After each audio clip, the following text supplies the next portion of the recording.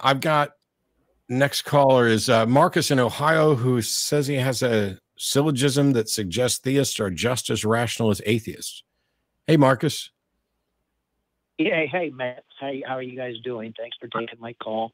I'm wondering if that This one, I, I'm wondering if that description is accurate. You you have a syllogism that shows that theists are just as rational as atheists, yes. but have I suggested that theists can't be just as rational as atheists? Uh, I guess maybe you've never said that, but when I anyway, uh, what I wanted to say, I, I called in a few months ago and I failed miserably, so I bit off a little bit less than I can chew. And I want I want to remind both of you to be easy on me because I'm a COVID first responder, so so that should get a little uh, a little. Get a little love. We'll give you a little love for that. Yeah. Okay, you get Yeah, you get you go. one one time where I was going to interrupt where I will hold my tongue. okay, that sounds good. All right, here's here's the syllogism, um, and I think uh, watching your website a lot, Matt. Uh, I went through all your videos quite a bit. Uh, I think you would agree with a lot of these. So, number one, most believers are not mentally ill. Number two, What? IQ Not- and EQ. Not mentally ill. Yes, most Right. believers are not mentally ill. Number one. Number two, IQ and EQ, if you do a standard deviation plots, would be similar between believers and non-believers. Three, rationality is derived from number two. So four, believers are as rational as non-believers. Okay, so the first thing is uh, we don't derive a rash we don't derive rationality from IQ and EQ. I don't know where you got that. Um, Why? Do, why would you say that? I don't understand that. so rationality. IQ EQ come from your brain. Brain is all there is. So rationality would be derived from brain. So yes, but rationality is not derived from brain. Um, whether or not a position is rational is based on is there sufficient evidence to warrant acceptance of that position, and does the person accept it? And so you are rational if you accept something when there's evidence and don't accept something when there's not sufficient evidence. It has an IQ is nothing but a measure of how good you are ta- at taking an IQ test, and people, uh, you know, with wide range of IQs can all be rational, and every person is capable. Uh, well, almost. Every, I don't want to say everyone. Uh, generally speaking, the overwhelming majority of people are capable of being rational, and this is why you know your whole case here is believers. Most of them aren't mentally ill. I agree. Uh, some of them probably are, or not to any more significant extent than anybody else is. Um, but mental illness isn't a factor in it because I can be mentally ill and be rational. I can have depression, anxiety, et cetera, and still be rational in certain situations. So it's not a matter of whether or not people are rational, it's whether or not positions The position. should Right. be accepted according to reason. And so I would never say that atheists are more rational than theists, except I believe that the atheistic position is more rational than the theistic position. And so that's how you, it, it's a position that is de- determined to be rational or not, not a person, because all of us are capable of being rational and irrational. Okay. All right. I, I like I like everything you say. I, you kind of won me over again. Since that was so quick, can I give you one one other thing? Sure. All right. Uh, you always on your videos, uh, you really don't like reference to authority. And I do medical research, and of medical research, uh, reference to authority or bench studies or books are clearly, I would agree with you, the weakest evidence, and they need the most skepticism.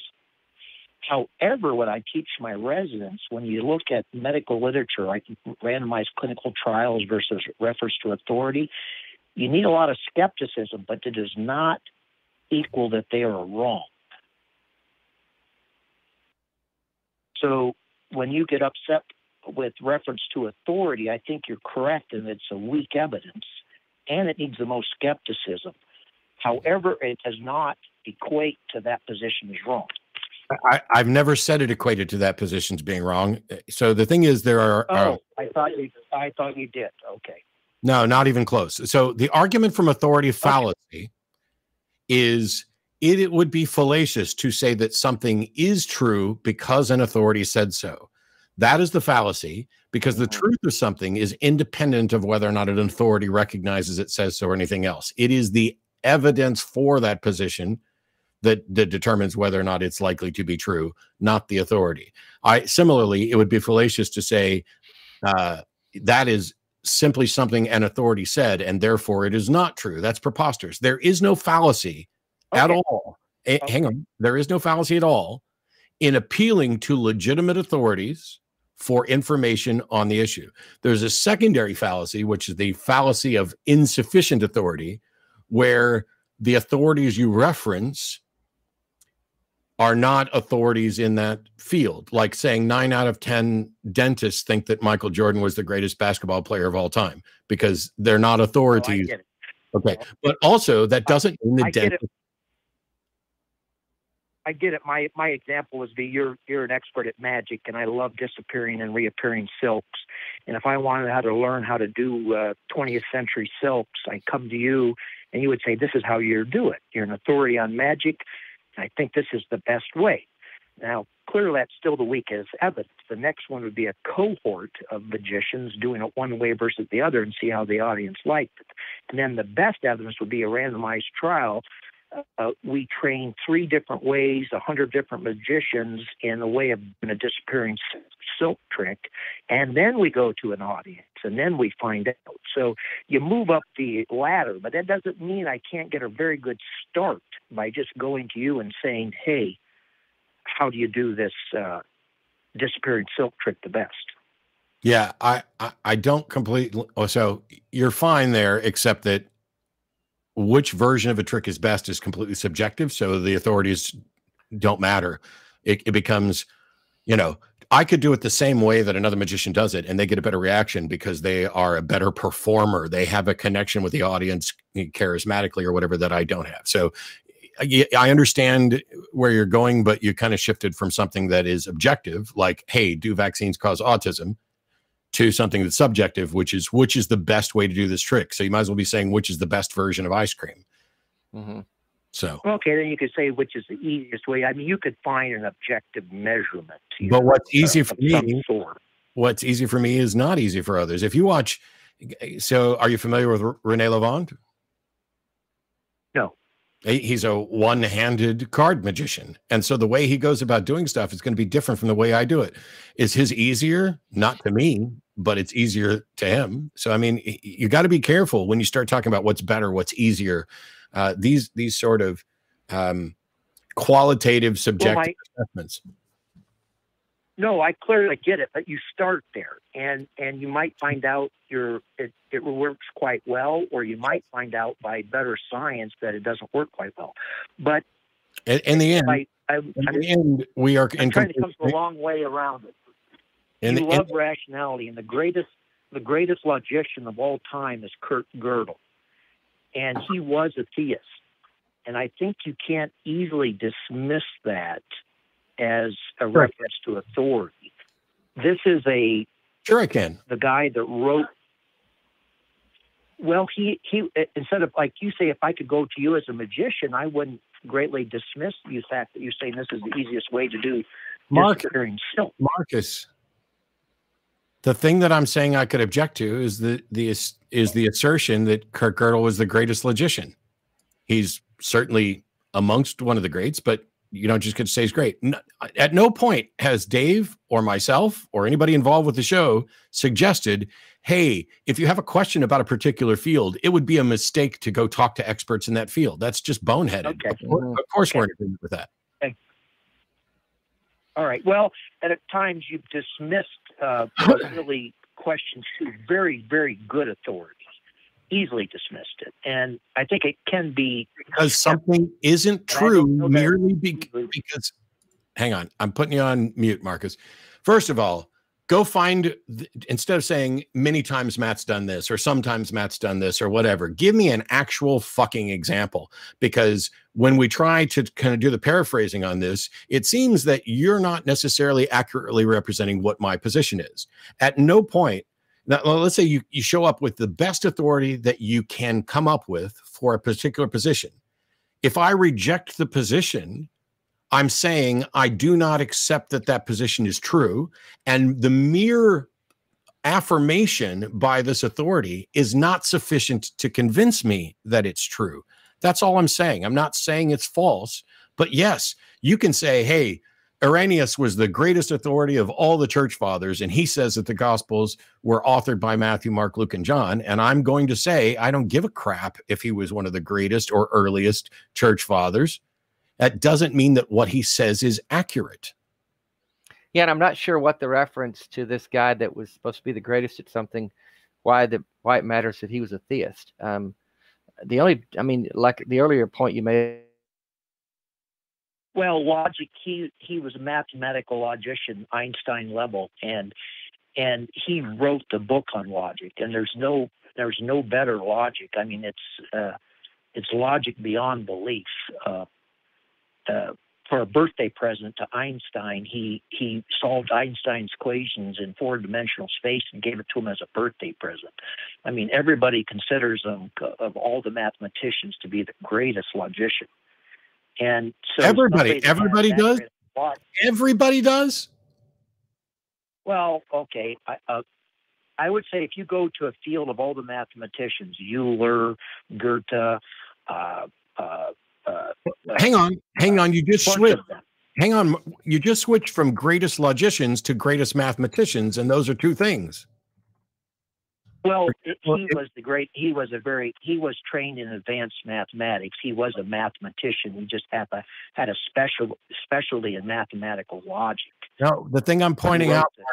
The thing I'm pointing out, Marcus, is that you're being sloppy and hyperbolic because, first of all, you talk about uh, Gödel as the greatest logician, and then you want to say he's Einstein level, which means you are now comparing him yeah. to somebody else who is generally the standard, except Einstein isn't a logician. Einstein's a mathematician physicist.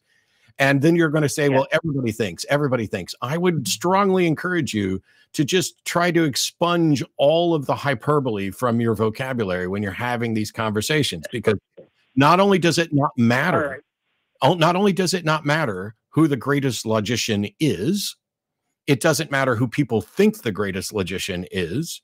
And it doesn't matter if everybody thinks they're the greatest logician. Couldn't Kurt Gödel still be wrong?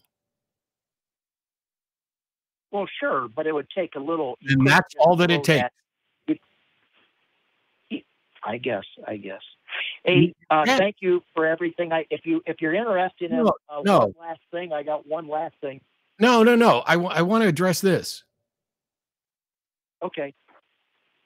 If Go ahead. The, the fallacy is that X is not true merely because an expert says so. You've just acknowledged Kurt Gödel's oh, an expert. I agree with that. Oh my God. Would you stop and let me finish? Okay. You just agree that Kurt Gödel, we'll, we'll go ahead and call him the greatest logician, but you're agreeing with yeah. me. He could, in fact, be wrong. Yes. Which means that if he says something it is does not mean it's true. Well, that's a, that's an all. Pro- you have to then do probability. How probability he likely is true. That's that you start that with all your conversations. What is the probability, and that's how you divine whether something is rational. How does the evidence? What is the probability that the evidence says? Uh, you know, so for me, the probability that God exists is greater than ninety percent. Wow. Uh, uh, Richard Dawkins said it was less than one tenth of one percent, but and for it, some reason we all do probabilities. What's that? If you, are 90% confident that a God exists, why the fuck aren't we talking about that rather than this particular little fallacy and misunderstanding of, of you misunderstood what my position was. You came in with a syllogism to show that oh. theists can be as rational as atheists, which is something I've never rejected and mm. absolutely accept. Why aren't we talking about why you're 90% confident that a God exists when you're calling into the atheist experience and we're not confident? Why isn't that the subject? Well, uh, only because it's a much smaller topic. If I did the other topic, I mean, you've uh, you've beaten D'Souza and Peterson and all these great thinkers, uh, there's just no way I'm going to make any progress in why I think God exists. And it really doesn't come down to a rational thing. It comes down to it's a life enriching thing. For So me, say- uh, my experiences are so enriching that it is it's it's fun for me to uh, like music or art. It's it's just it's just part of my experience. Okay, but but fun, but and that's but. Marcus, Marcus, if it's it, do you play any instruments? No, music. I love music, but I'm I'm not. Do you know anybody who writes? knew ten lang- Do you know anybody who writes songs? Do what? Do you know anybody Uh, who writes, no. uh, writes books? Yes. Okay. If they're convinced that there is a muse, an actual muse thinking agent that is outside of them, that is infusing them with ideas, if that enriches their life, what the hell does that have to do with whether or not it's true? I don't care if something in I mean I appreciate things that enrich my life. I'm talking about whether or not it's true. And when I I think I believe if I heard you correctly, you're sitting there saying Matt beat D'Souza, Matt beat, you know, so and so, Matt beat so and so. So I'm Yeah, not yeah. any if you are sitting there thinking that I beat these people in debates about God and that you're not going to make any head- headway, how on earth can you be 90% confident? It's just that my my experience is so strong. It's almost as strong as smell or color or anything else.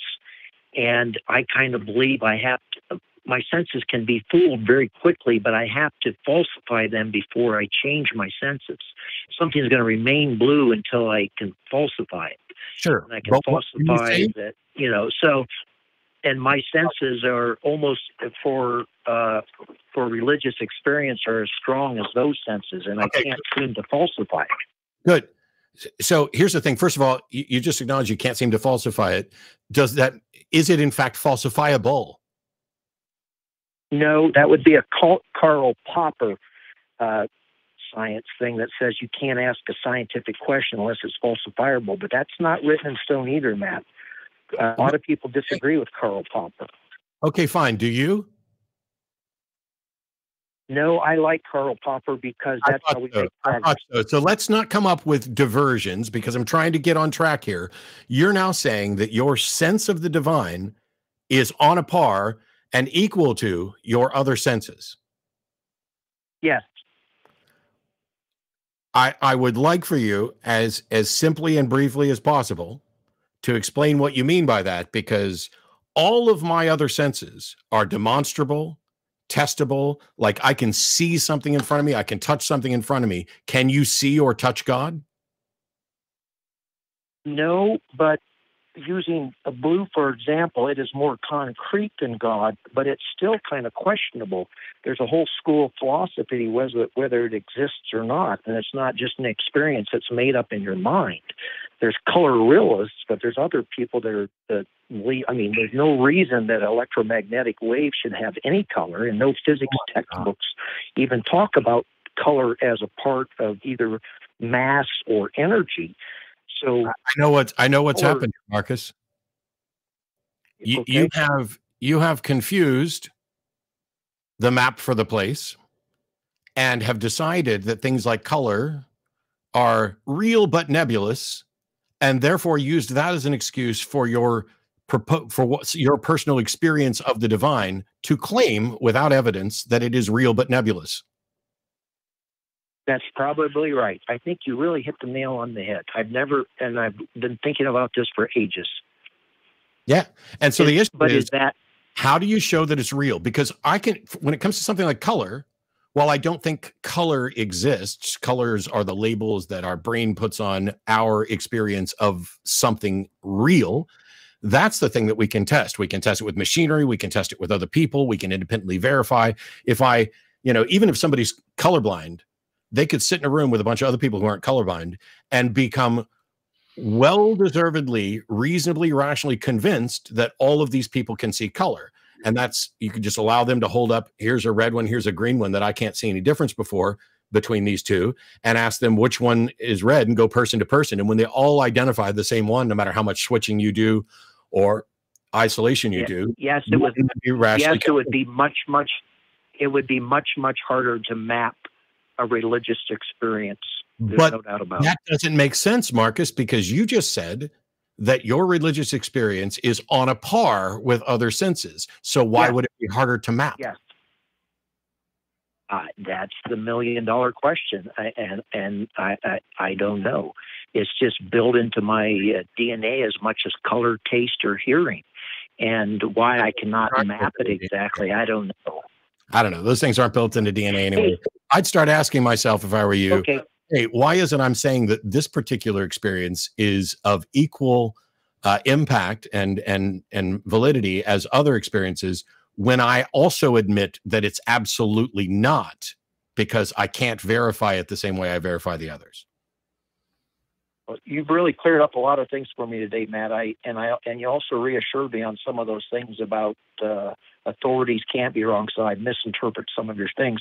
Uh, one last quick thing I'll tell you, and then let you go. Um, when Dawkins writes uh, uh, God delusion, he's making a medical mistake. He should really write God uh, uh, hallucination.